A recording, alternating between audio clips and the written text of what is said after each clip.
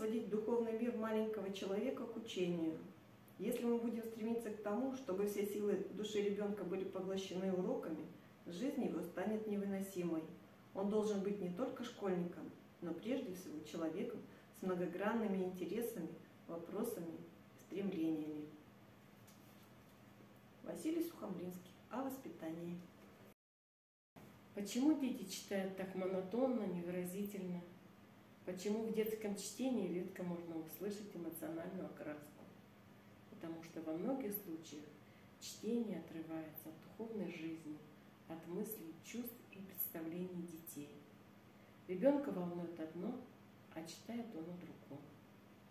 Чтение обогащает жизнь детей лишь при условии, когда слово затрагивает сокровенные уголки их сердец